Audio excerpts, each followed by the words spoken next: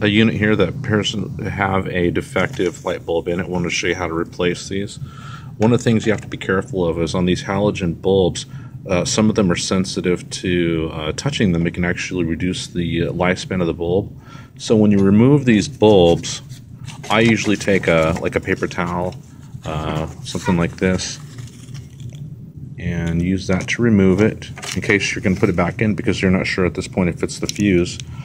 I use the wrapper on the uh, the replacement here like so and then pull it back.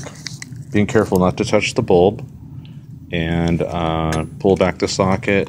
Use the plastic on my fingers to actually insert the uh, bulb in. Fully seated in all the way and then you'll see that I'm retracting it like so, so that my fingers aren't coming in contact with the bulb. And you can close it back up.